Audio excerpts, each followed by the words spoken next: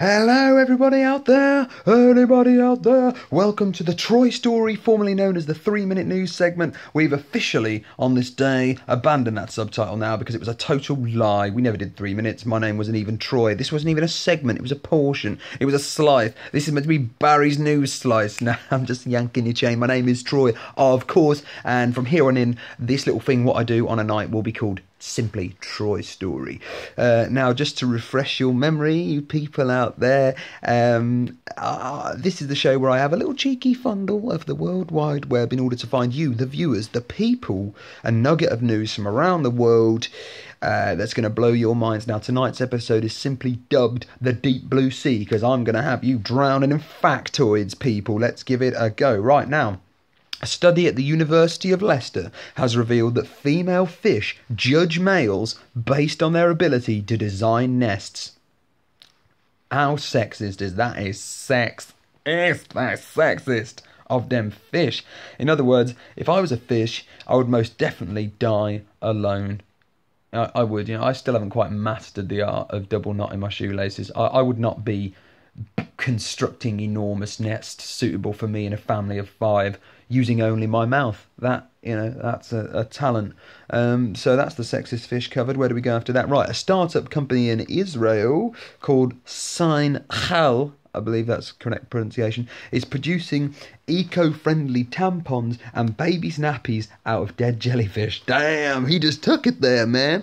Now, this is in order to tackle the rising number of jellyfish threatening the underwater infrastructure, and also it's 100% biodegradable. So, um, I think it hardly seems fair, really, to punish the jellyfish for being so numerous, does it? Right, your population's so high, we're going to have to murder you and turn your dead body into ladies' sanitary products. Sorry, it just makes sense environmentally. We, you know, we wouldn't be, we wouldn't do that with humans, would we? We wouldn't be like population of China, 1.3 billion. You're having a lot, right? There's only one thing for it. We're gonna have to use you as tampons. Don't complain. You know, we'd at least give them a chance to explain themselves. But alas, the jellyfish they cannot speak, and they especially cannot speak Mandarin, so that makes them not as good as Chinese people.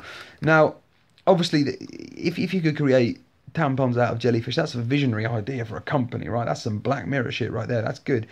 But I can't help but feel sorry for the jellyfish. You know, it started out as such a majestic ocean dwelling creature and it ended up living in the most undesirable circumstances ever, really. You know, tampons, they're the bottom of the food chain, aren't they? they you know, no one no one's mates with a tampon, are they? they? They don't have a very good home life. If you were a tampon, you wouldn't have people round for tea. Your place is minging, mate. You've got to just sort of sit it out alone. Um, but yeah, uh, I guess the moving on from that. Um, that was almost as sexist as that bloody female fish up there. I do apologise. Anyway. Um, but yeah, right. So the, the, article then goes on to describe a similarly pioneering company in Denmark called Agroplast, which creates biodegradable plastics out of pig urine. What? Now, again, great idea with an ickiness rating of ick 180 icks. Yeah. Personally, I find it fascinating to imagine that this company could create a biodegradable plastic bucket out of pig urine and then fill it up with genuine liquid pig urine, thus creating some sort of multi textured combo of pig urine unlike anything ever seen anywhere in the world ever.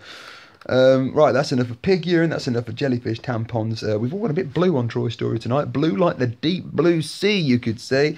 Uh, this has been your nightly instalment. Remember to like, share, comment, back in, do what you want, mate. Shove it up your vagina. This is Troy Story.